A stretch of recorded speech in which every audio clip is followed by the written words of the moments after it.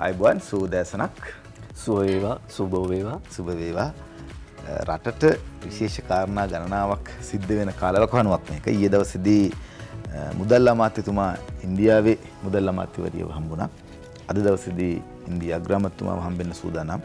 මේ වගේ කාරණා ගණනාවක් සිද්ධ වෙනවා. ඒ අතරතුරේදී ගෑස් වල කතාව තැන් තැන්වල මතුවෙනවා. අපි ඒ දවසේදී දැක්ක ප්‍රදේශ කිහිපයකදීම ගෑස් ටැංකි පුපුරායාමක් කියලා සමහරක් කතා කරනවා. නැත්නම් ගෑස් ටැංකියේ යම් යම් හේතු සාධක නිසා ඒ උපකරණ පුපුරායාමක් කියලා කතා කරනවා. අදත් අපි සූදානම් පුවත්පත්වල ප්‍රධාන පුවත් විශේෂ පුවත් මේ සියල්ල අරගෙන එන්න පත්තරමෙන්තෙන් දිනෝෂ කුඩාගොඩගෙත් මාත් එක්ක ඉන්නවා. අයිබෝන්.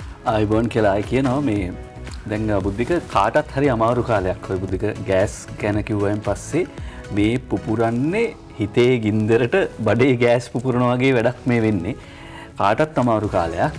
වියදන් කරන්න ගියයන් පස්සේ අමාරුව කොයිතරන්ද කියලා තේරෙනවා. මේ අතර මේ දැන් ගෙවල් කුලී ගෙවන්න ඕනේ. ඉළඟට සමාලාට අවුරුද්ධ අන්තිම උදාවෙල තියෙනවා කියලා කියන්නේ සමට ඉන්නගේයින් තවගේකට මාරු වෙන්න ඕනේ. ඊළඟට ඕකට කීමනි හොයා ගන්න ඕන. තව ගෙවල් හොයන්න ඕනේ. මෙහෙම බැලුවම අවුරුද්දක් ඉවරවේගෙන අද අද දෙසැම්බර් මාස දෙවනි දන අවුරුද්දක් ඉවරවේගෙන අද්දී ඔය තියෙන ජීවන බර තවදුරටත් දැනෙන්න පටන් අරගෙන තියෙනවා. බීතෝවන් කියන සංගීතඥයා ඔගේ මේ පස්වන සංධවනය කියන එක නිර්මාණය කරන්නේ ගෙදර කුලීකාරය ඇවිල්ලා කුලිය ඉල්ලන්න දොට තට්ටු කරන්න තඩිබාන සද්‍ය හුට ඇහෙනවා.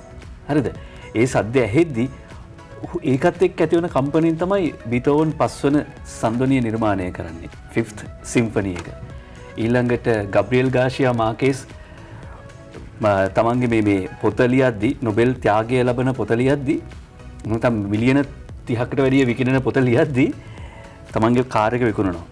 බිරිඳගේ රත්තරම් බඩු ටික කනකරටික උගස්සියනවා. වේටික විකුණල දාන මාස දහටක් එක දිකට පොත ලියන අන්තිමට පොත ලියලිවර කරට පස්සේ මේක තැපැල් කරගන්න ප්‍රකාශකට තැපැල් කරගන්න මුද්දරගාස්සු හොයාගන්න විදිියක් අපත් එහෙම නිෂ්පාදකරන්න එහෙමින්නවා. එහමින්න කියන පොත්ලීල තියාගෙන එකොට තමන්ගේ මේ එකන පොත ලියනෝ මාස දහටක් තිස්සේ තමන්ගේ කාරක විකුණනවා බිරිඳගේ කනකරු ගස්සනවා ඔක්කොම කල්ලා පොත ලියනවා පොත ප්‍රකාශකයට යවන්න මුද්දර ගස්සු ගෙවාගන්න සල්ලිනේ. අන්තිමට පොත කොටස් දෙහකට කඩල තමයි තැපල් කරන්න පලවෙනි කොටස විතර යවන්නේ ආසනාවට ඒ ප්‍රකාශකට තේරම මේ වැඩේ ගොඩයනවා කියලා ඒක නිසා ඔහු දෙවනි කොටසත් යවනවා. එම් බැලුවහම හැමෝට මමාරු කාලයක් හැබැයි ඒ අමාරු කාලේ මිනිස්සු ගොඩ ගිහිල්ල තියෙනවා. මට තියෙන දේ තමයි මේ ලංකාවේ ගෑස් කතන්දර ගෙවල් පුලි කතන්දර මේ ඔක්කොමත් එක ගත්තහම බිතෝවන් වගේ කීදනෙක් ලංකාවේ මේ වෙලාව උපදීද? ප්‍රශ්නත් එක් අපට මේ හොඳ පැත්තම ගන්න මොකද දැන් රාජමාධ්‍යයක් ඉදිරි ගත්තර පස්සේ හැමදේම මේගොල්ලෝ හොඳයි කියලා කතා කරන්නේ. එහෙම කිය එහෙම නෑ. වැරද්ද වැරද්දමයි. මෙතන තියෙන්නේ රජයේ වැරද්ද දේශපාලනය වැරද්ද නැත්නම් මේ ක්‍රියාකාරීන්ගේ වැරද්ද කියන එක හොයනකොට වඩා අපි ජනතාව පරිස්සම් කරන්නේ කොහොමද කියන එක පිළිබඳව හොයන්න වෙද කාර්යයක් බවට පත් වෙලා තියෙනවා. එතකොට පොත් ලියලා ගෙදර තියාගෙන හිටපු මිනිස්සු පොත් වලින් ජයග්‍රහණය කරනවා වගේ මේ අනිත් පැත්ත අඳුරු පැත්තෙන් කොහොමද ජයග්‍රහණය කරන්න කියන එකත් අපි හොයාගෙන යා යුතුයි. නැත්තම් ඉතින් හැමදේම ලැබෙනකන් කියලා බලන් හිටියොත් මුකුත්ම නැති වෙයි. අපි බලමු ප්‍රධාන පුවත්පත්වල සිරස්වල මොනවද කියලා.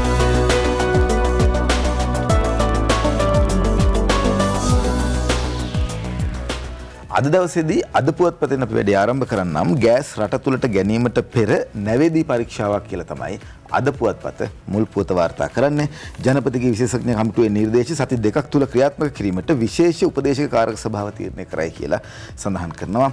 ප්‍රමිති ආයතනයට බලය ඇත්තේ ගෑස් රහිත සිලින්ඩර් ප්‍රමිතිය පරීක්ෂා කිරීමට පමණයි කියලා ප්‍රමිති කාර්යාංශයේ අධ්‍යක්ෂ ජෙනරාල්වරය සිද්ධිකා සේනාරත්න කියපු කතාවත් මේකත් එක්ක සම්බන්ධ වෙලා තියෙනවා. ගෑස් සංයුතිය වෙනස් වීමට සාපේක්ෂව රෙගියුලේටරය ඇතුළු උපාංග ශක්තිමත් විය යුතුයි කියලා විශේෂඥයෝ කියනවා. ප්‍රශ්න තියෙන දැන් මේක දැන් කී කී ඉඳලා හරියන්නේ නැහැ. මේ දේවල් ඉතාමත් ඉක්මනින් කරන්නට ඕන.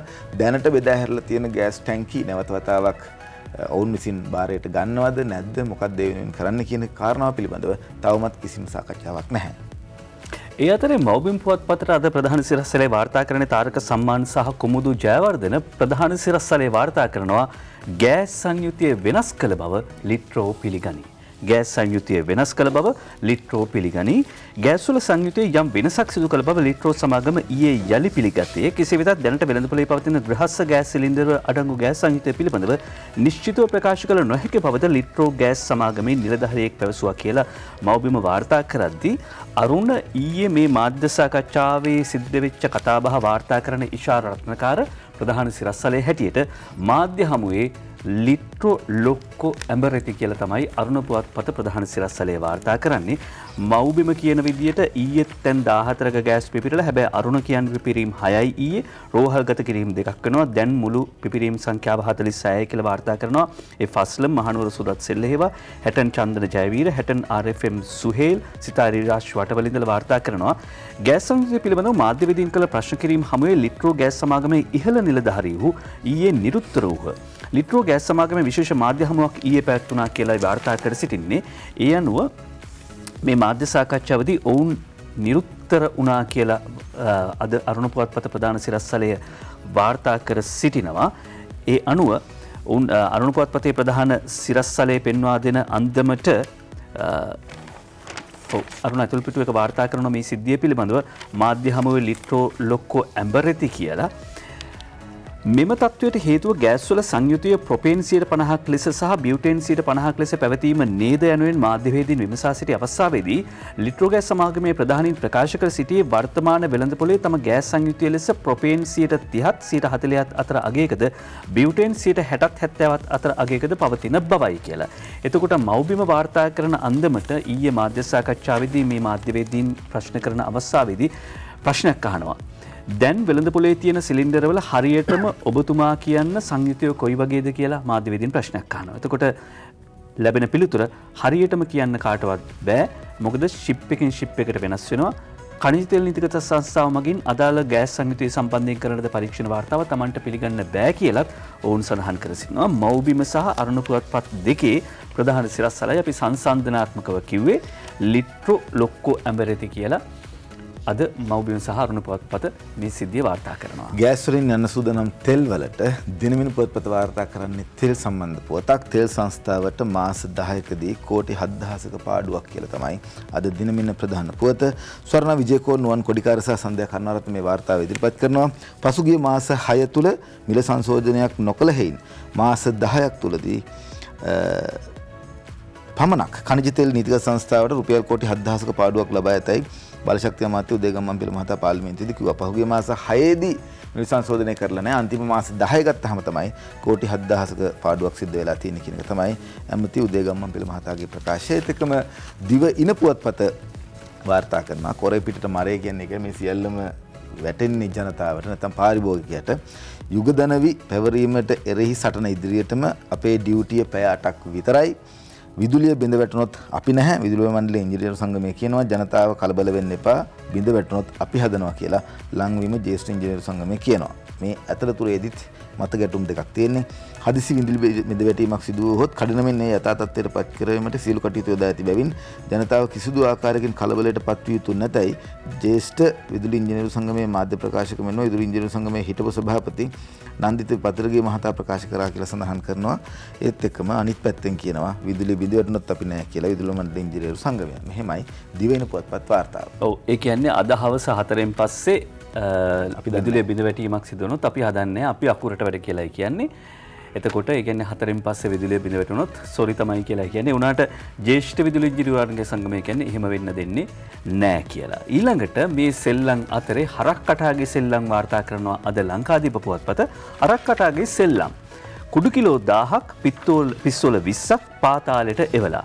නිමන්ති රණසිංහයි අද ලංකාදීපයේ ප්‍රධාන සිරස්සලේ වාර්තා කරන මිදිගම ලසාව මාරයි කියලා තවදුරටත් කියනවා. එය අනුව මිදිගම නදුන් නොහොත් හරාකට්ටා නැමැති මහාපරිමාණ මද්‍රව ජාවාරමකරුවා සමඟ සම්බන්ධ වෙමින් හෙරෝයින් ජාවාරම සිදු කිරීම සම්බන්ධයෙන් අත්අඩංගුවටගත් ලසන්ත වික්‍රමසේකර නොහොත් මිදිගම ලසා නැමැත්තාගෙන් කරනද ප්‍රශ්න කිරීම හමුවේ මේ කරුණු අනාවරණ වී ඇත ඇද නීති විරෝධී දේපල හෝ වත්කම් විමර්ශන කොට්ටාසය අධිකරණයට දැනුම් දීලා තිබෙනවා. ඒ අනුව දෙදස් විස්සේ අවුරුද්ධිඳල මාස පහක කාලයක් ඇතුළත හෙරොයින් කිලෝ හත්සිය විස්සක් අයිස් මද්‍රබ කිලෝ දෙසිය හතලිහක් සහ නවීන පන්නේ මිලිමීටර නවේ වර්ගේ පිස්තෝල විස්සක් මිට ඒවා ඇතයි අපරාධ පරීක්ෂණ දෙපාර්තමේන්තිය නීති විරෝධී දේපල හෝ වත්කම් විමර්ශන කොට්ටාසය මාත්‍ර මහේස්ත්‍රත් අධිකරණයට වාර්තා කර තිබෙනවා. හරක් කටාගේ සෙල්ලම්. අපි මුල් පුවත් සිරස්තල බැලුවා සූදානම් පුංචි විරාමයකට යන්න විරාමෙන් පස්සේ කාරණා ගණනාවක් තියෙනවා. අද දවස ජනමාධ්‍යවේදීන්ට ඉතාමත්ම සුවිශේෂී දවසක්. ආණ්ඩුවක් විදිහට රටක් විදිහට රජයක් විදිහට ජනමාධ්‍යවේදීන් වෙනුවෙන් වැඩ කටයුතු කරන විශේෂ දවසක් බවට පත් වෙනවා අද. ෂෙන් බුද්ධික අපි දවස පටන් ගන්න සමහරලාට අර දත් ඉදිරිපත් කරනවානේ. කෙනෙක් කොවිඩ් ආසාදිතයෝ ගාන කියනවද? එහෙම නැත්නම් ගෑස් පිරිම් ගාන කියනවද? ඔය ඔය මොකද ඊයේ පන්සිය පනස් නවයක් ආසාධිතයන් වාර්තා වෙනවා. විසි හයක් මරණයට පත්වෙනවා ඊයේ දවස ඇතුළත ඉළඟට මවබිම්පුවත් පත කියන්නේ ඊයේ තැනතැන දාහතරක් ගෑස් පුපුරල කියලා හුංගම වලස්මුල්ල තලව කැලේ පතන එළුවිල මැනික් දෙන ගිරිවුල්ල අඟුළුගහ බදුල්ල අකුරණ නෙළුම්කුළම මිහින්තලේ පලාතුර නානුවය දැන් අපි මෙහෙම කියාගෙන අද්දිත් ගෙවල්වල උයන උදවිය බයට පත්වෙනවා. හැබැයි මේක නොකියත් බෑ මෙහම අවධානමකුත් තියෙන නිසා. ඒ අනුව තැන් ඊයේ පාර්ලිමේන්තුවද විශේෂ රැස්වීමක් පැත්තුනා මේ තිබුණේ මේ කතානායකතුමාගේ උපදෙස් මත උපදේශක කාර්ක සභාව වෙනද අමාත්‍යංශයට යටතේ වන උපදේශක කාර්ක සභාවය රැස්සුනා. එතෙන්දි ගත තීරණ සුජිත් හේවාජුලිගේ සහ අංජුල මහික වීරරත්න වාර්තා කරනවා යනුව ගෑස් සිලින්ඩර අද සිට ගඳ සුවඳ බලා වෙළඳපොළට නිකුත් කරන්න තීරණය කළ තිබෙනවා කියලා උපදේශක කාර්ක සභාව තීන්දුවක් ගනි මේ අනුව ගෑස් සිලින්ඩරවල ගඳ සුවඳ පරීක්ෂා කිරීමෙන් පසුව වෙළඳපොළට නිකුත් කිරීමට තීරණය කර තිබෙනවා.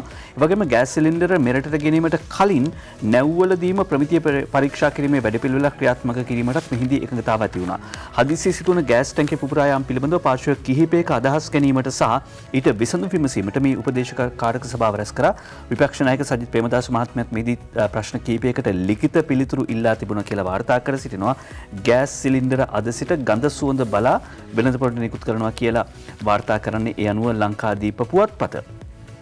ඊට පස්සේ මෞබිම පුවත්පතට ගියයින් පස්සේ මෞබිම් පුවත්පත වාර්තා කරනවා. ලාස් ගෑස් සමාගම මේ සම්බන්ධය නිවේදනයක් නිකුත් කරන ඔවුන් කියන්න ගෑස් කාන්දුවට හේතුව බාල උපාංග භාවිත කිරීම. ගෑස් සංයුතයේ ගැටලුවක් නෙවෙයි. ඊට වඩා උපාංග පිළිබඳ ගැටලුවක තියෙන්නේ සමාගමේ ප්‍රොපේන් වැඩි කිරීම හරහා ලාභයක් ලබන බව පැවසීම අර්ථවිරහිතයි. පසුගිය වසර තුළ මාස දෙකකදී පමණක් ප්‍රොපේන් බියුටේන් මිලට සමානුනත් අනෙක් හැම මසකම ප්‍රොපේන් මිල බියුටේන් වලට වඩා ඉහළ අගයක් අරගෙන තියෙනවා. ඒ නිසා සංවිත වෙනසීම මගින් මේ පීඩනයේ වැඩිවීමක් කාන්දුවක් වන බවට පැතිර ගියාට මතයක් මේකෙන් ලාභයක් ලබන්න බෑ කියලා කියනවා. ඒ වගේම ලිට්‍රෝ සමාගම කියනවා ගෑස් වෙළඳපොළට එවන්න පෙර දෙවරක් සංවිතය පරීක්ෂා කරනවා. ලිට්‍රෝ සමාගම කියන විදිහට ගෑස් ගැටලුවක් තියෙනවා නම් 13යි 11ට අමතන්න. දහත් උනයි එකොළහට අමතන්න. ඒක ඉන්න මව්වරු නෙවෙයි ඒවුනාට හරි දහතුනයි කොලාට අමතල ගාගන පස්සේ මොනහරි ගැටලුවක් තියෙනවනම් කතා කරන මොකද ඇත්තරම් මේ වෙද්දි ගැටලුවක් කෙන සැකයක් තියෙනවා. කොහොමද මේ ගෙනාපු ගෑස් සිලින්දරේ පිපිරීමේ අවධානමක් තියෙනවද නැද්ද කියලා සැකයක් තියෙනවනේ. සිලින්ඩරේ නෙවේ පුරන්නේ නමුත් පිපිරි ඒකන යම් ගිනි එමනතන් ගිනි ගැනීම තත්ත්වයන් නැතිවෙනවා. ඉගෙන සැකයක් තියෙනවනම් දහතුනයි එකොළහට අමතන්න කියලා ලිට්‍ර සමාගමත් ඔන්න කියනවා. අද පුවත්පත වාර්තා කරන මේ ගෑස් පුවත් සම්බන්ධයෙන් ගත්තාම ලිට්‍රෝ ජනතාවට කරුණු කියයි කියලා ලිට්‍රෝ සමාගම ඊයේ දවසේදී මාධ්‍ය සාකච්ඡාවක් පැවැත්වුවා. එහිදී ජනතාවට කරුණු කියනවා මේ ආందోලනාත්මක සිද්ධිය වෙලා තියෙන්නේ වෙන යම් හේතු මත කියලා ලිට්‍රෝ සමාගම කියනවා. ඉතින් වෙන යම් හේතු මත නම් තැන් තැන් මේක පුපුරන්න විදියක් නැහැ නේ. ඒක නිසා මේ සම්බන්ධයෙන් කතා කරනවා ඒත් එක්කම ගෑස් පිපිරීම් නිර්මාණය කළ අදයි සැකයක් මතුවෙනවා කියලා දිනමින පුවත්පත වාර්තා කරනවා. මෙහෙම කියන්නේ අනුර කුමාර දිසානායක මහත්මයා. ඇත්තටම ආණ්ඩුව ප්ලෑන් කරලා මේකක් කරාද කියන එක තමයි එතුමා කියන්නේ. Eh, නුවන් හෙටියාරච්චි මේ වාර්තා ඉදිරිපත් කරන දිනමිනට ගෑස් සම්බන්ධව කුමන්ත්‍රකාරී යමක් සිදුමින් තිබෙන බවත් සාර්ථක කර ගැනීම සඳහා ආණ්ඩුව විසින් රට පුරා ගෑස් පිපිරීම නිර්මාණය කළ දැයි සැකමතු වන බවත් ජනතා විමුක්ති පෙරමුණේ නායක අනුර කුමාර දිසානායක මහතා ප්‍රකාශ කරා පක්ෂ කාර්යාලය පැවති මාධ්‍ය හමුවකදී තමයි මෙහෙම කිව්වේ කියලා සඳහන් කරලා තියෙනවා ආණ්ඩුව ඉතින් මිනිස්සුන්ගෙන් අප්‍රසාදයට පත් වෙන්න තමන්ම මේක කරගත්තද කියලා සැකයක් තියෙනවා තමයි. ඔව්. ඊල්ළඟට ආණ්ඩුවේ මන්ත්‍රීවරයක් ගීතා කුමාර සිංහ මහත්මිය පාලිමින්තු මන්ත්‍රීතුමිය කියනවා ගෑස් ලිපේ අවදානම මම තරම් අත්වින්ද කෙනෙක් තවත් නෑ. වාර්තා කරන විනිතා එම් ගමගේ අද ලංකාදීපයට ගෑස් කාන්දුවකින් ගිනියවිලීම ගැන තමන් තරම හොඳින් දන්න කෙනෙක් එම අදකීම් තියෙන කෙනෙක් තවත් නෑ. ගෙදර ගෑස් කාන්දුවකින් පිලිස්සල දවස් දහතුනක් රෝහල්ගතව ප්‍රතිකාර ලබපු තමන් ඒගෙන හොඳින්ම දන්නවා. ගෑස් ලිප දල්වන්නේ වැඩිපුරම කාන්තාවන්. ලිප දැල්වීමද ගිනි ගන්න පටන්ගත්තු තෙමන ගින්නක්කාවොත් මුහුණ පිලිස්සීම වැලක්විය නොහැකි බව නිසා කාන්තාවන් හරි බයින්ඉන්න කුස්සී විතරක් නෙවෙයි ආප වඩේ ආදී සකසා අලිවි කරන අයටත් මේ ප්‍රශ්නය බොහෝවිට බලපාල තියෙනවා. තිස්ස කුටි මතත් කැත කතා කිව කියල තවදුරට තැකන මන්තිවර මෙවැනි වාචික පහරදිම් කරන පාලිමේන්තුවේ කිහිප දෙනෙක්ට විතරයි. කතා කරන අය බය කරලා කාගෙහර උපදෙස් මතද මේ කටයුතු කරන්න කියලයි පාලිමින්තු මන්ත්‍රීවරේ කියන්න. ගෑස්ලිපේ අවධානම මන්තරං අත්වින්ද කෙනෙක් නෑ. කාන්තාවන් කොයි වගේ චකිතයකට පත්වලා තියෙනවද? ගෑස්ලිප පත්තු කළෑන් පසේ මුහුණම තමයි පිච්චෙන්නේ කියලා ඇය කියනවා ඒ අවධානම ගැන. එම කිව්වම ඊයේ වැලිගම ප්‍රදේශයෙන් හදිසි අනතුරක් වාර්තා වෙන හරි අවාසනාවන්ත සිද්ධියක් මේක කේද දායීපුවතක් මේ සිද්ධිය අවසල්වැසිවුණන් කියන්නේ මහ පිපිරීමක් ඇහුණ කියලා. ඒ තමයි වැලිගම වල්ලිවල නිවසක ගින්නකින් අටහැවැඩිදි දැරිය පිලිස්සීමිය ගිහින්. කීර්ති මෙන්ඩිස් මාතර උදේකුමා රණවීර වාර්තා කරනවා. අද මෞබිම පුවත් පතර ජාතික පුවත්පත් කිහිපයකම මුල් පිටු ඇතිවිච්ච කතාවක් තමයි මේ. සිද්ධිය වාර්තා වෙන විදියට අවුරුදු හතක දැරියක් ස්කෝල දෙකේ පන්තිගෙන ගන්න දැරයක් තම මේ විදිට මිය ගිහිල තියෙන මේගේ දැරිය වැලිගම ශ්‍රී ධර්මරාජ විද්‍යාලය දෙවනවසරකුණ ලබනවා. සහෝදරයන් දෙදෙනෙක් ඉන්න පවුලේ බාලය තමයි ඇය. එතකොට තාත්තා එක්ක මේ දූ එක කාමරයක ඉඳලා තියෙනවා. ඉට පස්සේ ආච්චි එක්ක අනිත් සහෝදරයන් දෙන්න වෙනම කාමරයක ඉඳලා තියෙනවා. තත ගිලතින අම්ම අම්ම එක්කන්. එන්න. මොකද කොග්ගල ඇගලුම් කර්මාන්ත ශාලාවක වැඩ කරනවලු අම්ම. ඒ එනාතරතුරදි තමයි මේ ගින්න ඇති වෙලා තියෙන්නේ. අසල්වසයෝ කියන්නේ විශාල ශබ්දයක් ඇසි වුණා ගින්න මේ ගෙවල් පැත්තෙන් කියලා.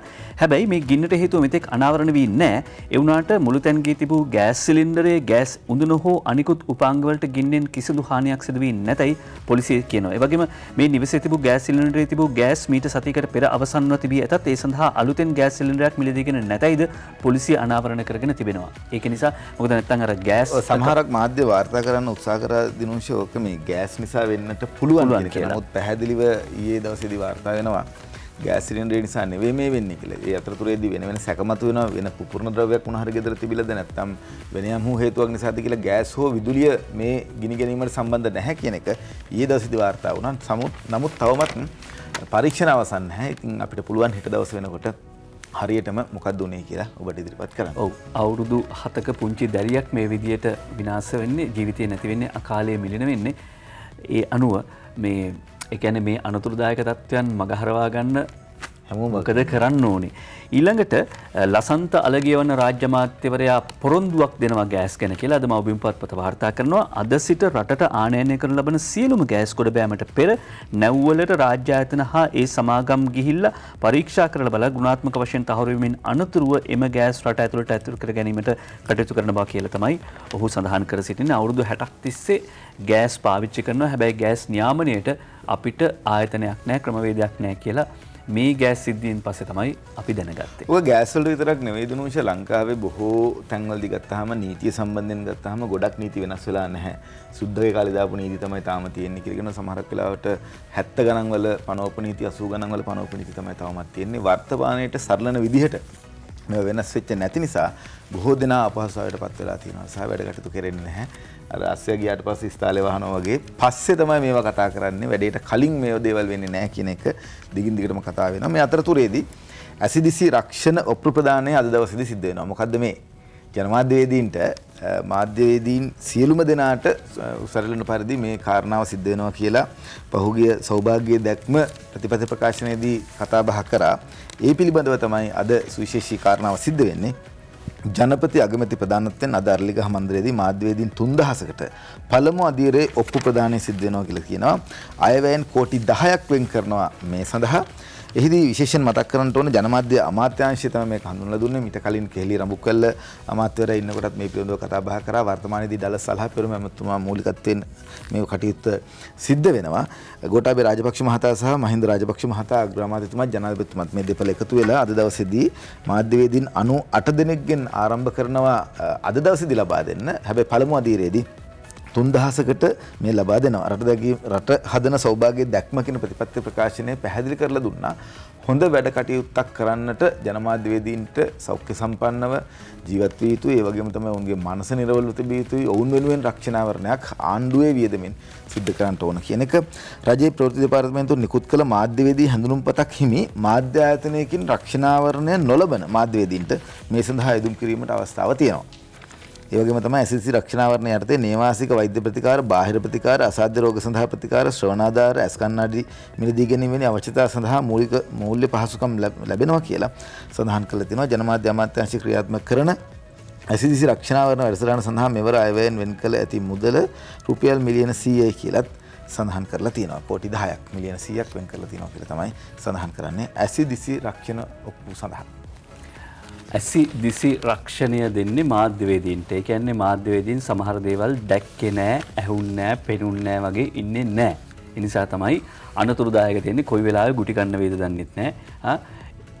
දැන් ඊයේ අරුණුපුවත් පත වාර්තා කළා රත්තරන් ගොඩගන්න ගිය ඇමති ලේකම්ලා දෙන්නෙක්ගේ පුවතක් ඔය විදිහට වාර්තා කර සිටියා.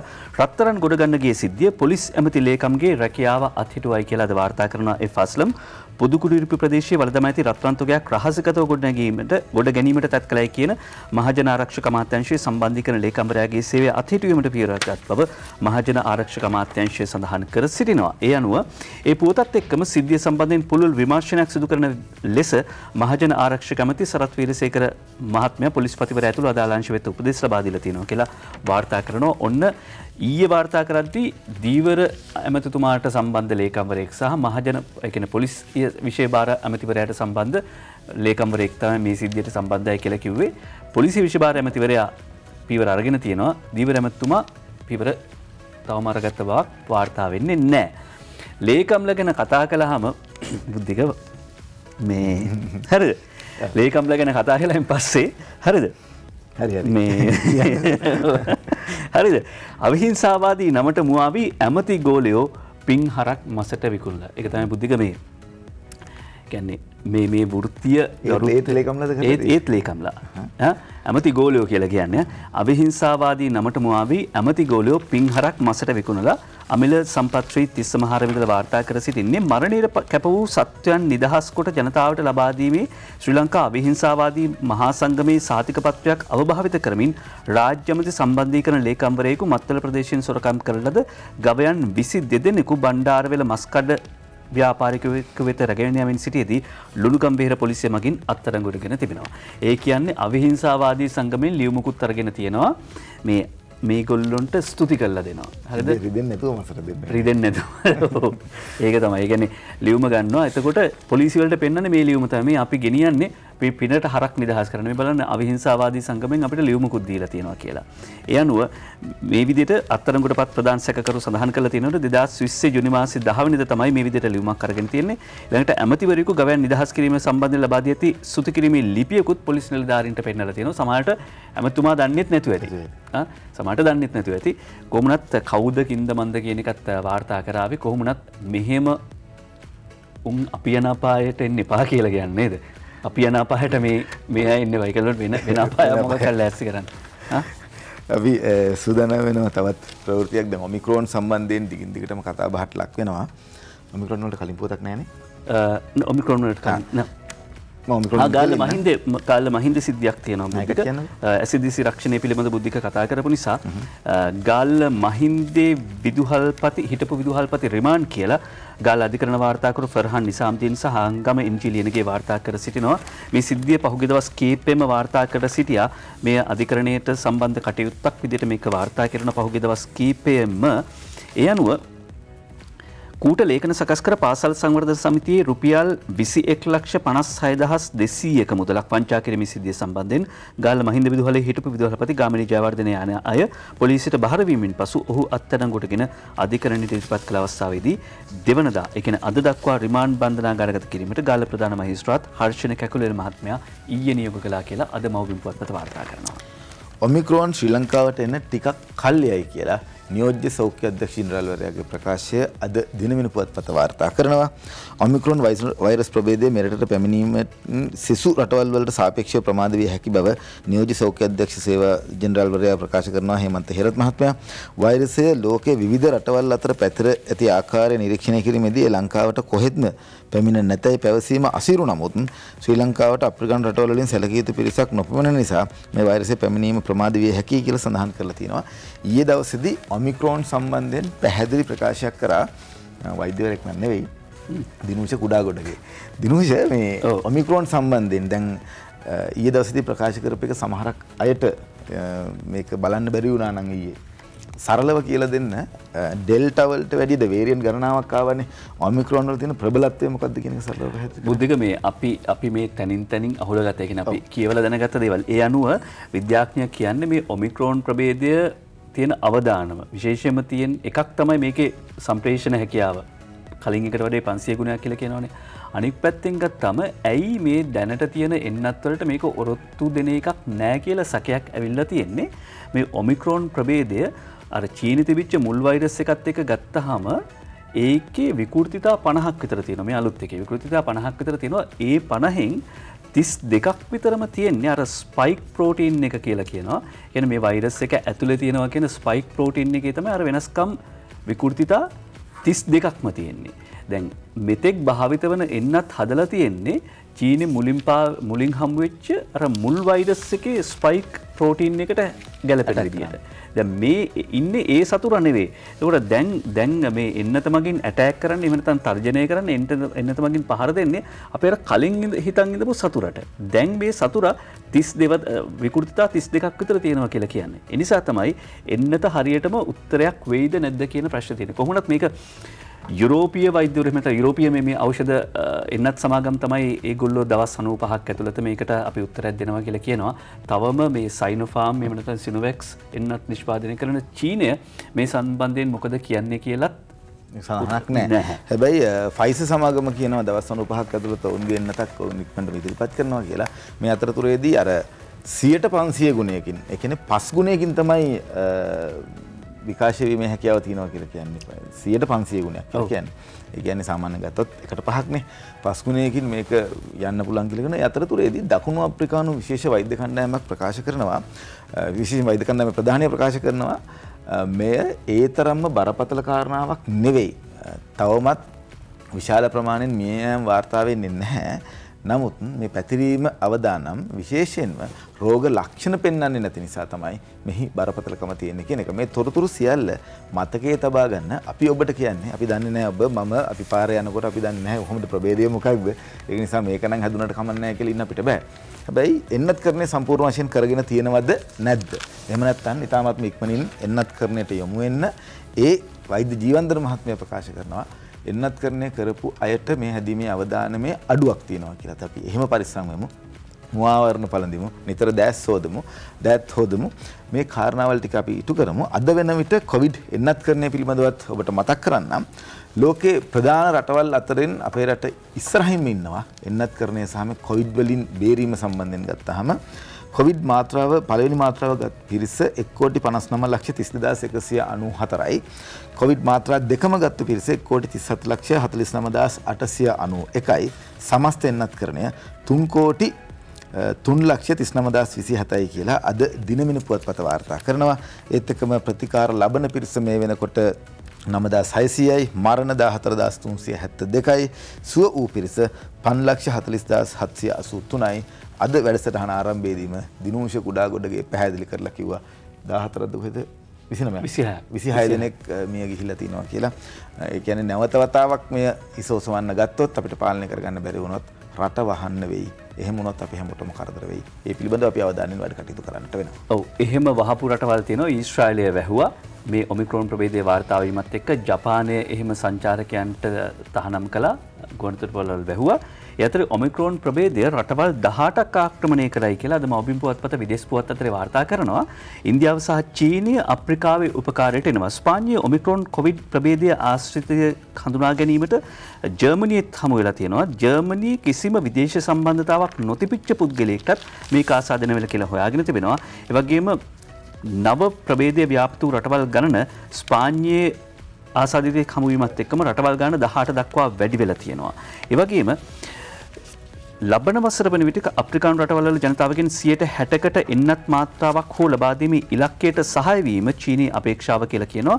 මෙසි ලබාදන එන්නත් ඔගේ මාත්‍රා හැටක් කෝටි හැටක් නොමිල් ලබා දෙනවා. ඉතිරි මාත්‍රා කෝටි හතලිය නිෂ්පාදන ක්‍රියාවලයකට එකන අප්‍රිකානු කලාපයම නිෂ්පාදනය කරල දෙන්න තමයි හදන්න. ඉන්දියාව සහ චීනය අප්‍රිකාවේ උපකාරයට එනවා කියලා කියනවා. බුද්ධික මේ ඒත් අපි මේක කතා කලා මේ මේ මේ වෛරස් එක දේශපාලන වෛරස් එකක්ද කියලා නිකං අපි වගේ ඔය නිකං ඔය පොඩි මනෝගානයට හිතෙනවාද තියෙන මනෝගාන කෙන කතාව ඒ ගැන්නේ මොකද මේ එකන මෙහෙම කියන්න අපිට හරිට දත්ත තියෙන්න බෑ. එහෙම නැතුව අපි හිතනේම අපේ පොඩි අපේ කල්පිතයන්නේ හරද? ඒක අපි මනෝගානයට කියලකිවේ හරිද? මොකද දැන් අප්‍රිකානු කලාපයෙන් තමයි මේ වෛරස් එක පැතිරෙන්නේ කියලා අපි මේ වාර්තා කරන මීට සතියකට කලින් ජාත්‍යන්තර මාධ්‍යවලගේ බලන්නකෝ අපි අප්‍රිකාව ගැන හිතුවට මේක පැතිරේ කියලා මේ කොවිඩ් පැතිරේ කියලා අප්‍රිකානු කලාපේ පැතිරුන්නේ නෑනේ මාර වැඩේනේ.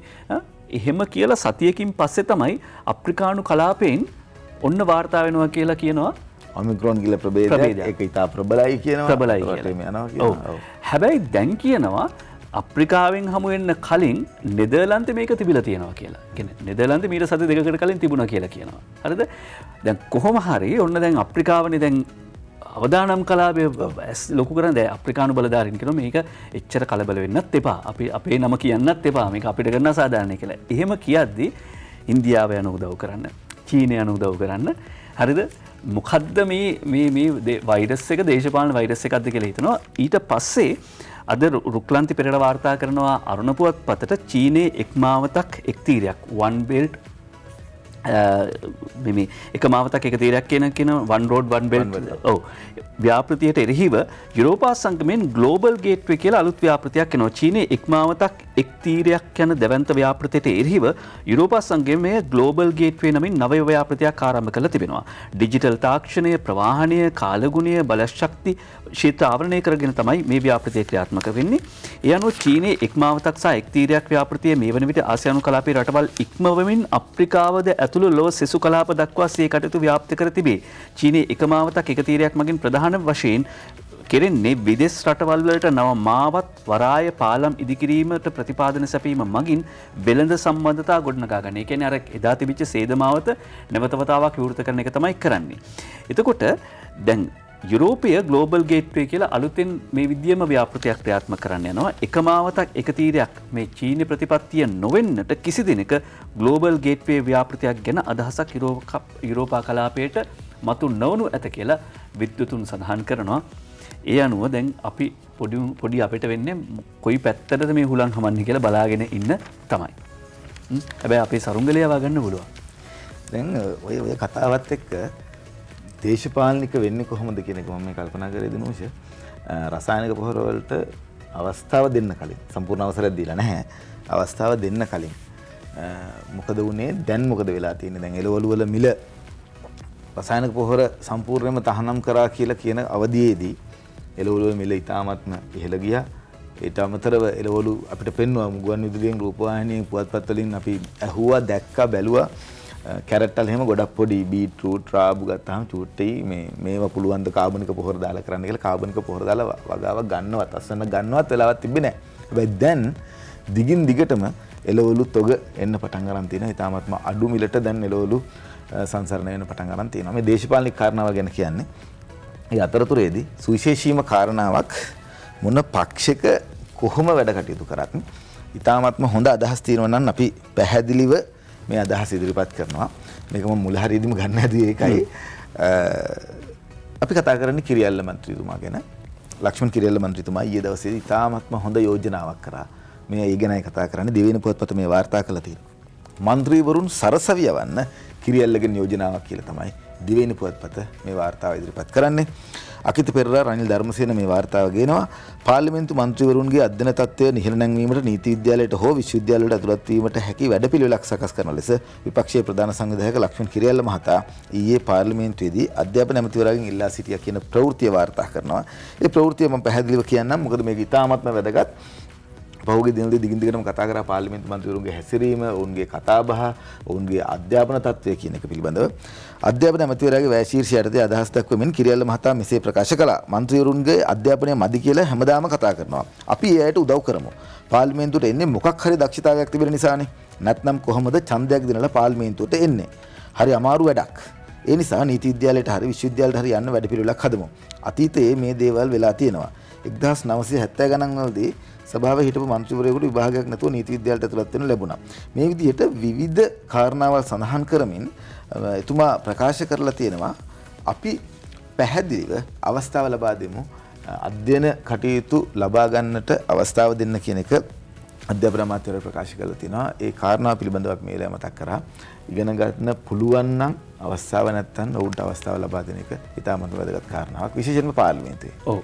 බුද්ධික මේ එහෙම ඉගෙන ගන්න අවස්ථාව දෙන එක හොඳයි. හැබැයි අනිත් පැත්තෙන් බුද්ධික මම මම මම පෞද්ගලිකව හිතන්නේ අඩුතරමින් අපි කියන්නේ ප්ලේස්මන්ට් ටෙස්ට් එකක් කියලා. ඒ කියන්නේ මොකක් හරි පරීක්ෂණයක් තියලා හරි බඳව ගන්නවා නම් මොකද උදාහරණයකට නීති විද්‍යාලය කියලා ගන්නකෝ අවුරුද්දකට ගන්නේ ළමයි 220ක් විතර වගේ නම් එතකොට ඒ ප්‍රමාණය ඒ ඒ ඉගෙනගෙන එහෙම නැත්නම් තරඟකාරී විභාගයකින් ඇතුළට යන යාට අසාධනයක් නොවන විදියට මේ අය කෙන මොකක් හරි ක්‍රමවේදයක්. ක්‍රමවේදයක් එක් පැහැදිලි ක්‍රමවේදයක් ටෙස්ට එකක් කියන එකට ඒ මොකක් හරි ක්‍රමවේදයක් එක් කොමුණතරකි වගේ ඉගෙන ගන්න අවස්ථාව දෙන විශේෂයෙන් මේ රට කරන තැනට මේ දේවල් පැවතින එක ලොකු දෙයක් කියලා අපි විශ්වාස කරනවා. ඊළඟට බුද්ධික කතාව පටන් ගත්තේ පොහොර ගැන කතාවෙන් පස්සේ තාම දැන් මේ දැන් තමයි ගැසට් එක නිකුත් කරන්න යන්නේ රසායනික පොහොර ගෙන්නන්න කියලා බුද්ධික කිව්වාගේ තාම ගැසට් නැහැ. හැබැයි එළවලු දෙක අල බහැලා. අල බහැලා. ඒක තමයි මේ තියෙන ප්‍රශ්නය මේ ප්‍රශ්නය අපි තේරුම් ගනිමු. කොයිතරම් ගානක් මේවට වියදම් කරන්න ඇද ඒ විතරක් නෙවෙයි ඔය වෙලාවෙම කියාගෙන යන්න ඕන දිනුෂය දැන් ගුරුවරුන්ගේ වර්ජන රැල්ලක් තිබුණා. ඒක ඉවර වුණා. ඒක ඉවර වුණාට පස්සේ වෙනද ඊළඟ වර්ජන රැල්ල රුපියල් 10000ක් වන පඩියට වැඩි කරන්න ඕන පටන් ගන්නවා. මේකෙදිත් අපි දැක්ක ගුරුවරුන්ගේ වර්ජන රැල්ලේදී ඉස්සරහට ඇවිල්ලා කතා කරපු දේශපාලන කණ්ඩායම් වල අයම දැන් ඔන්න ඒක පැත්තකින් තිබ්බා තව ඒකට ඇවිල්ලා තියෙනවා. එතකොට රට මේ වෙලාවේ ඉන්න තත්ත්වය රට වැඩ කටයුතු කරන්න ඕන ආකාරය මේ සියල්ල එක්ක ඔන්න සිද්ධ වෙන දේ. විදුලි මණ්ඩලයේ සිද්ධ වෙන දේවල් ටික අපිට පේන්න පටන් ගන්න තියෙනවා. අපි හතරෙන් පස්සේ හතරමාරෙන් පස්සේ ලයිට් කැපුවට අපිට දන්නේ නැහැ. ඒ කියන්නේ දවල් දවසේ නෙවෙයි මිනිස්සු ලයිට් දාගෙන ඉන්නේ. දවල් දවසේ වැඩිපුර ඕන වෙන්නේ කර්මාන්තවලට.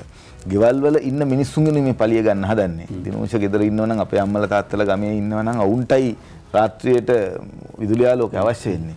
අපි දැක්කා දවස් දෙකකට කලින් මුළු රටම අඳුරේ තිබ්බ නැත්නම් රටෙන් බාහිර වැඩි ප්‍රමාණයක් අඳුරේ තිබ්බ මුන්ගේ මේ යම් යම් කඩාකප්පල්කාරී ක්‍රියා නිසා මේක ඒ තරම් හොඳ තත්ත්වයක් නෙවෙයි කියන එක අපි තෝරලා දෙන්න කැමතියි. එතකොට ඒව පිටිපස්සේ ඉන්න සමහර වෙලාවට ඩීසල් බලාගාර වලින් සල්ලි ගන්නවා කියලා චෝදනා කරනවා ඊළඟට සමහර දේශපාලන පක්ෂවල ප්‍රාදේශීය සභා මන්ත්‍රීවරු කියලා වාර්තා වෙනවා.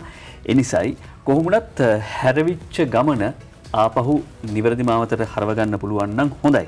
කාබනික පොර නිපදවන්න රජයෙන් ගොවීන් ලක්ෂ අටකට මිලියන හාරදාස් පන්සියක් දීලා. ඒ කියන්නේ ඇත්තටම ගොවීන් මේ ක්‍රමයත් එක් ඉඳලා තියෙනවා. කාබනික ඝනපොහොර නිෂ්පාදනය කර ගැනීම සඳහා ගොවීන් අටලක්ෂ පනස් දහස් හයසිය එක් දෙනෙකුට රුපියල් මිලියන හාරදාස් පන්සියක් මේ වන විටත් රජෙන් ලබා දී ඇති බව ගොවි ජන සංවර්ධන කොමසාරිස් ජෙනරාල් AHML අබේරත්න මහත්මය කියලා තියෙනවා. කියන්නේ මේ ගමන අපිට යන්න තිබුණ මේ තිබිච්ච ගැටලු ටික විසඳගෙන ගැටලු තිබුණා. හැබැයි ඒ ගැටලු ටික විසඳගෙන ගමන යන්න තිබුණා. සාමාන්‍යයෙන් අපි කියන්නේ බුද්ධික මේ මේ අහිංසක ගොවි ජනතාව කියලානේ. ඇත්ත ගොවි ජනතාව අහිංසකයි.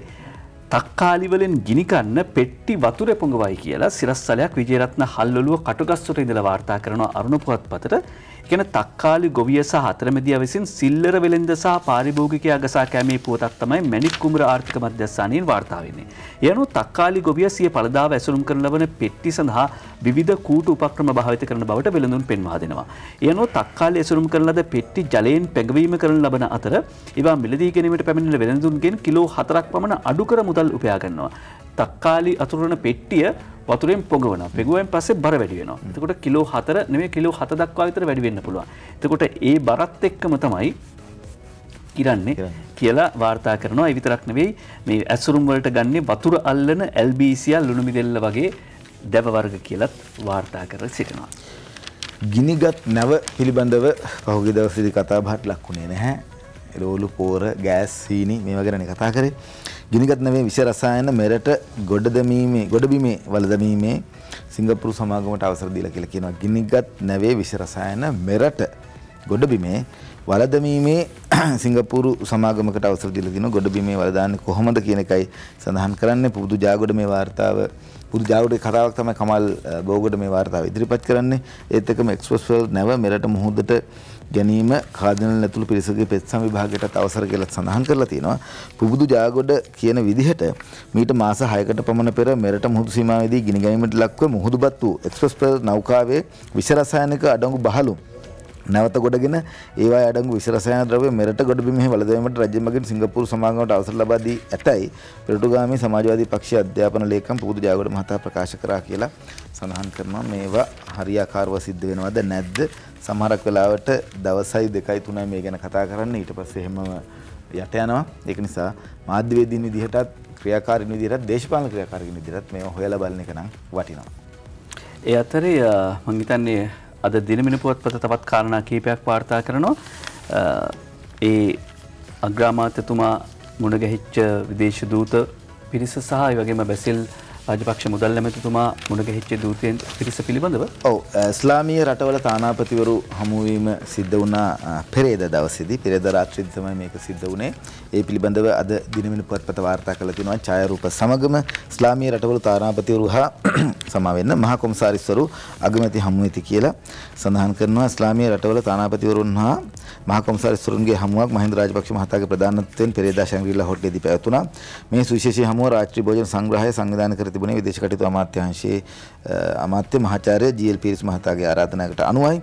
මහින්ද රාජපක්ෂ මහතා මෙහි පැමිණ සිටින තානාපතිවරුන් සමග විශේෂ සාකච්ඡාවක් පැවැත්වුවා රටවල් අතර ද්විපාර්ශ්වික සම්බන්ධතා කොහොමද පවත්වන්නේ? ඒත් එක්කම රටවල් වලට කොහොමද එකිනෙකා දේශපාලනික වශයෙන් ශක්තිමත් වෙන්නේ කියන කාරණාවල් පිළිබඳව අද කතා බහ එදා කතා බහ කරපු එක අද පුවත්පතේ සඳහන් කරලා තිනවා. පෙරේදා හවස තමයි රාත්‍රියේදී තමයි හමු වුණේ. ඒත් එක්කම තානාපතිවරු තිදෙනෙකු ඇමති බැසිල් අතර හමුවක් කියලා සඳහන් කරනවා. තායිලන්ත තානාපති ඒ වගේම තමයි ඕමාන තානාපති සහ තායිලන්ත ඕමාන තානාපතිවරු තමයි බැසිල් රාජපක්ෂ මහත්මයා හමු වෙලා තියෙන දීපාර්ශික සම්බන්ධතා තවදුරටත් සාතික කර ගැනීම සඳහා ඔවුන් පිළිබඳ ඔවුන් අතර සාකච්ඡාවක් සිදු වුණා කියලා තියෙනවා. මේ අතරතුරේදී බැසිල් රාජපක්ෂ මහත්මයා ඊයේ දවසේදී සහභාගී වෙනවා. ඊයේ සහ අද දින දෙකේදීම ඉන්දියාවේ තමයි ඉන්නේ. ඉන්දියාවේදී විදේශ සංචාරයක් සඳහා සහභාගී වෙච්ච අවස්ථාවේදී මුදල් අමාත්‍යවරියව හම්බුණා. ඊයේ දවසේදී අද දවසේදී නරේන්ද්‍ර මෝදි අග්‍රාමාත්‍යතුමාව හම්බෙන්නත් සූදානම්. මෙහිදී මේ දෙරට අතර දීපාර්ශික සම්බන්ධතා සහ මුදල් ගනුදෙනු සම්බන්ධයෙන් කොහොමද අපි වැඩ කටයුතු කරන්නේ? රටේ ආර්ථිකය සංවර්ධනය කරන්න ආර්ථික කලාපය කොහොමද දියුණු වෙන්නේ සහ කලාපයේ ආර්ථික තත්ත්වය කොහොමද ඉස්සරහට ගෙන යන්නේ කියන සාකච්ඡාවල් පිළිබඳව කතා කිරීමට කටයුතු සංවිධානය කරලා තියෙනවා. ශ්‍රී ලංකාවේ ඉන්දියානු මහා කොමසාරිස්වරයා මිලින්ද මොරගොඩ මහත්මයා තමයි මේ සංවිධානය මේ හමුව සංවිධානය කරන්නේ. මේ පිළිබඳව තොරතුරු විටින් විට අපි ඔබට අරන් එන්න සූදානම් ස්වාධීන රූපවාහිනී සේවය ඔස්සේ. ණය නෙවෙයි ආධාරයි ගන්න යන්නේ කියලා සඳහන් කර සිටියා. ඒ අතරේ මේ ණය නෙවෙයි ආයෝජන. ආයෝජන ගන්න යන්න කියලා කතා කරමින් සිටිය අදහස් ප්‍රකාශන ආයෝජන කෙවුවෙන් පස්සේ පෝට් සිටිය ආරම්භ කර අවස්ථාව ඉඳලා කොයිතරම් කතා කිව්වද කොයිතරම් ගැරහුවද අන්තිමට මොකද්ද සිද්ධ වුනේ? හොලිවුඩ් තර්ජුවලගේ කැලිස්මා පෝට් සිටි එයි කියලා වාර්තා කරනවා නයනතරංග ගමගේ. කලක් හොලිවුඩේ ජනප්‍රිය තර්ජුවලකු එලිසබෙත් ටේලර් සහ රිචඩ් බර්ටන් දෙන්නට අයිති. කැලිස්මා කියන නෞකාව පෝට් සිටි වරායට ආවා. පෝට් සිටි කළඹු මරීනා වෙත ආවා. එය අනුව ඉන්දයානු සාගර කලාපයේ ප්‍රමුඛ මධ්‍යස්ථානයක් ලෙස පහසුකම් සහිත සුපිරි යාත්‍රා නෑම්ගුරම් ලැමේ පහසුකම් සහිත යාත්‍රාවක් යතා තොටුපලක් විදියට කොළඹ වරායනගරේ මේ කීර්තියට පත්වන ලෝක අවධානයට ලක්වෙනවා ඒ අනුව තමයි කලක් හොලිඩේ ජනප්‍රියතර යුලක්ව එලිසබට ටේලට සහ රිචඩ් බර්ටන් දෙන්නට අයිතිවල තිබිච්ච මේ කැලිස්මා කියන නෞකාව එන්නේ. මේක සුකෝභෝගී නෞකාවක්. මේවයින් එන්නේ සුපිරි ධනවතුන් ඔවුන් ඇවිල්ලා වියදන් කරන්නේ කොහොමද? සහ මේව රටට ඩොලර් නැති වෙලාවක ඩොලර් ගෙන්න ගන්න සහ රට ගැන ලෝක සිතියමේ අලුතින් මේ සලකුණු කරන්න එන අවස්ථා පිළිබඳව කුහක කමින් නැතුව බලන එක හොඳයි මොකද කුහක කමින් බැලේ මුල්ගලත් ගැලවනේ ගලවලා අවුරු දෙක හමාරක විතර පස්සේ ආය පටන් ගතන මේක මේ වෙද්දි පටන්ගෙන තිබුණා නං ඇත්තරම දැන් සල්ලි එන්න පටන් ගන්නවා. සල්ලි එන්න පටන් ගන්නවා. අපි ලෝක ජනගහනය පිළිබඳව ගත්තහම දැන් චීනයේ ලෝක ජනගහනය ගත්තහම අපි දන්නවා ලෝකේ වැඩිපුරම ජනගහනයක් ඉන්නේ චීනේ 1.4 බිලියන් කියලා කියනවා මිලියන 1400කට වඩා වැඩි චීන ජනගහනය. ඉන්දියාවේ ජනගහනය 1.3 බිලියන්. කියන්නේ මිලියන 1300කට වඩා වැඩි. අපි බලාපොරොත්තු වෙන්නේ ලංකාවේ සංචාරකයන් විදියට සාමාන්‍ය මිලියන 2යි 3යි. එතකොට මේ පෝට් සිටි වගේ ව්‍යාපෘති හරහා ලංකාවට සංචාරකයන් එන්න පටන් ගත්තොත් ආයෝජනය සඳහා තමයි මේ දේවල් ආරම්භ කරන්නේ වෙළඳ ගනුදෙනු සඳහා තමයි ආරම්භ කරන්නේ. නමුත් මේ සංචාරකයන්ගේ පැමිණීම ඉතාමත්ම වටිනවා අපේ රටට 1.4 බිලියන් 1.3 බිලියන් කියලා කියන්නේ එතනම තියෙනවා 2.7 වලට වඩා වැඩි ප්‍රමාණයක්. මේ අපේ රට ගැන බලන් ඉන්න රටවල් දෙකේම තියෙනවා. මිලියන 2700කට වැඩි ජනතාවක් මිලියන 2700න් මිලියන 2ක් 3ක් මේ රටට එනවා නම් මේ රට ගොඩ කියලා කියන්නේ අපි යනවද මේක? හරි. අපි එක කතාවක් එකට ගැටෙන කතා දෙකක් කියමු. වසර 22ක් රට වෙනුවෙන් සටන් කළ රණවිරුවා අවුරුදු 13ක් බිරියට හුස්ම දෙන සටනක කියලා වාර්තා කරනවා දාමුල්ලේ කේ.කේ ආරිදාස යුද හමුදාවේ නව වෙන සිංහ රෙජිමේන්තුවේ සේවය කළපු ඔහු එකල යුද හමුදාවේ අලිපැටිය නමින් හැඳුන්වනාලු එකල හරි ක්‍රියාශීලී අයෙක් යාපනයේදී ඔහුගේ පාදයකට වගේම හිස්සටත් වෙඩි වැදිලා ආබාධිත තත්ත්වයකට පත් වෙලා තියෙනවා. දැන් අවුරුදු 13ක පමණ කාලයක් තිස්සේ ඔහුගේ බිරිඳ වකුගඩු රෝගෙන්කෙන් පෙරනවලු රට වෙනුවෙන් දීපිදු මිතුරාගේ නැගනී විවාහ කරගත් විජේරත්න කියන කතාව යනු යුද හමුදාවෙන් සහ ජනතාවගෙන් පිහිට ඉල්ලනවා තමන්ගේ බිරිය බේරගන්න කියලා. ඒ අතරේ බලංගොඩ පොලිසියේ අවංක පොලිස් මහත්තයා ගැනත් අපි පත්තරමේන්තුවෙන් ඉඩක්වෙන් ඉඩක් වෙන් කරනවා බලංගොඩ පියසේනෙන් හේවගේ වාර්තා කරන්නේ බලංගොඩ පොලිසිය සේවය නියුතු පොලිස්සරෙන් ML උපුල් චන්ද්‍රජිත් මහත්මයා. හතලිස් දෙකයි නවසි විසි නවය. රුපියල් පනස්සට දහසක මුදලක් සොරුන් අතට පත්වීමට ඉඩ නොතබා බැංකුවකට බහරදීමට කටයුතු කළ අවස්ථාවක් නාවරණ වෙනවා කියලා වාර්තා කර සිටින්නේ යනුව බලංගොඩ පොලිසියේ අවංක පොලිස් මහත්මයාටත් ඔන්න අත්තරමේන්තුවෙන් තරු ලකුණක් එක්ක ඉඩක්.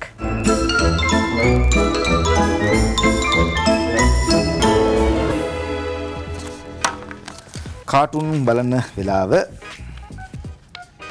අද මුලින්ම දිවෙන පොත්පතේ කාටුනේ මම තෝරගත්තා. දිවෙන පොත්පතේ කාටුනේ භාණ්ඩාගාරයට කොහොමද මුදල් එකතු වෙන්නේ එකතු කරන්න දඟලන්නේ කොහොමද කියන එක තමයි තියෙන්නේ. උදේ විමලසිරි තමයි මේ කාටුනේ නිර්මාණය කරන්නේ. ආර්ථිකය හිල්වෙච්ච ආර්ථිකයක ආර්ථිකයක් උඩට ගන්න හදනවා. ඒ සම්පූර්ණයෙන්ම බාල්දියක් නෙමෙයි මේක කලයක් තමයි තියෙන්නේ. හිල්වෙච්ච කලයකින් තමයි වතුර අදින්නේ පිබි ජයසුන්දර මහත්මයාගේ උත්සාහය තමයි මේ අපිට පේන්නේ. බණ්ඩාගාරයට කොහොමද වතුර පුරවන්නේ?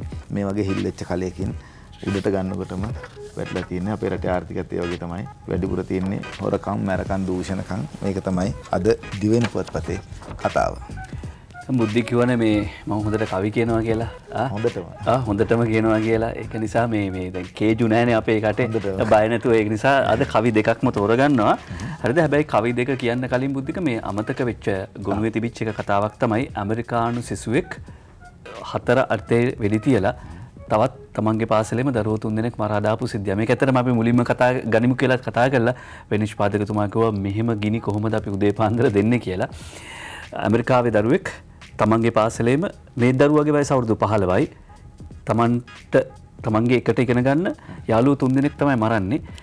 දෙන්නෙක් ගෑනු ළමයි එක්කෙනෙක් රක්බි කණ්ඩායමඉන්න හරි ආකර්ශණය චරිතයක්ලු. තාත්ත සිකුරාද තම මේ අර්ධ ස්වයංක්‍රිය ගිනිියාවිය ගෙනල්ල තියෙන එතකොට ඊයේ වෙනකොට පුතා මේක ගෙනැල්ල මේ වගේ අනතුරක් සිද්ධ කරනවා. එතකොට කල්පනා කළ බලන්න මෙ මේ එක පිරිමි ළමයෙක් සහ ගැහන් ළමයි දෙන්නෙක් ගාතනට ලක් කරනවා. මේ පිරිමි ළමයා හරි හැමෝගේ මාදරය දිනාගත්ත තරුවක් වගේ හිටපු ළමයෙක්. එතකොට නිකන් කතාව හිතාගන්න පුළුවන්නේ ගැහැණු ළමයි දෙන්නෙක් සහ පිරිමක්මන. එතකොට සමහර විට ගෙදරදි ලැබෙන්න ඕන ආදරය නොලැබෙන නිසා ඒ ආකාශය නොලැබෙන නිසා වෙන්නත් පුළුවන්. ඒවගේම සමලාට ගෙදරදි ඔයා තමයි පොර කියල හදනවන්නේ දරුවෝ? ඔයා තමයි. ඔය දෙකම කොයිතරන් නුගුණට හේතුවත්ද කාටුන්? කවි කියන්න තියෙනවා. කියන්න පටගන ජයරත්න වික්‍රමසිගේ ෆේක්බුක් කාටුනය පුපුරන්නේ ගෑස්න පුපුරන්නේ ගෑස්නවේ ලිප් කියල කියනවා. පොකට් කාටුනය ලිප් ගැනයි හොයන්න ඕන. කොහොමද තිස්ස කුට්ටික ටිකිරි මොලේ? තිස්ස කුට්ටි කියන්නේ පුපුරන්නේ ගෑස්නවේ ලිප් එකද ගෑස් ගැන හොයන්න එපා. ලිප් ගැන හොයන්න. ඕකයි තත්ව අන්රාධ හිරිපිටියගේ කවිය. ගෑස් සංයුතියේ වෙනසක් සිදුවීම අවධානමක් ඇති කරලා ඇත බෝම. ආණ්ඩුවෙත් අඹරන්නට එමගේම මෛත්‍රීගේ සෙට් එක වැඩ රහසේම මවබින් පුවත්පත MD වීරත්නගේ කාටුවනය බන්දුල ගුණවර්ධන ඇමත්තුමත් ඒවගේම තමයි අප කෘෂිකර ඇමත්තුම මහින්දන දළුත්ගමගේ ඇමත්තුමත් ගෑස් එකට වැඳගෙන ඉන්නවා අනේ ඉතින් ඔව ඔයාගේ පිහිටෙන් අපිව මතක නෑන කියල තමයි දැන් කියන්න. විදුර බේනායකගේ දවසේ පදහතර බෞබිම් පත්පතෙන් තෝරගන්නවා. අවසර ගතිමි කංසා අපනයනයට සහයට සිසිර ඇත ඩයනා කුමරියට කංසාහයෙන් පිට පිට ගිනි තබන විට සිටියේ කවුරු කවුරුත් වහගෙනය කට. දිනවෙන පුවත්පතේ එදා මෙදා තත්වේ. එදා පුපුරණ කොට අපිගේ ඇතුළට දවවා මෙදා පුපුරණ කොට ගෙදරින් එලියට දුවනවා මෙන්න ජනතාවට වෙච්ච කතන්දරය කියලයි අන්ජන ඉන්ද්‍රජිත් දිනමනට කාටුන් කරන්න. පංක ජුරුවින්දගේ සරදම තියෙනවා ගෑස් පිපිරිල්ල ගැන ඩලස්ගෙන ඕන ඉන්න බයින්ලු. එතකුට ලසන්තගෙන ඕන. හසන්ත විජනයගේ හුරේර කාටුනේ අවසාන වශයෙන් තෝරගත්ත අරුණ පුවත්පතට මන්ත්‍රීවරුන්ට උසස් අධ්‍යාපන වරම් දෙන්න කියලා කිරියල්ල ඉල්ලනවා. මන්ත්‍රීවරුන්ට උසස් අධ්‍යාපන වරම් දෙන්න කියලා කිරියල්ල ඉල්ලනවා. මුල්ලමාවිය සංවර්ධන වැඩපිළිවෙලක් තමයි ඕන සර් කියලා ඔන්න කියනවා. මුල්ලමාවිය සංවර්ධන වැඩපිළිවෙලක් තමයි ඕන. ඇත්ත ඒ වරදන්නේ අපි ගිහිල්ලෙන්නම් ලස්සන දවසක් ඔබට. අද දවසේදී ජනමාධ්‍යවේදීට සුශේෂී දවසක්. ඇසිදිසි රක්ෂණාවරණය. අද ලැබෙනවා තුන්දහසකට මාධ්‍යවේදීන් ඊට පස්සේ දෙවෙනි අධිරත් ක්‍රියාත්මක වෙන සූදානම් රුපියල් කෝටි 10ක් වෙන් කරලා තිනවා මාධ්‍යවේදීන් වෙනුවෙන්. අපි විශ්වාස කරනවා ඉස්සරහට රටේ හොඳ මාධ්‍ය සංස්කෘතියක් වෙනුවෙන් මාධ්‍යවේදීන්ට වැඩ කරන්න හොඳ කෙලින්තියන් වැඩ කරන්න හොඳ පරිචයක් බවට මේ පත් වේවි. ගිහින් එන්නම් ලස්සන දවසක් පරිස්සමෙන් ඉන්න මම වර්ණ පලදන්න. එහෙනම් ගිහින් ආයි බා. ආයි බා.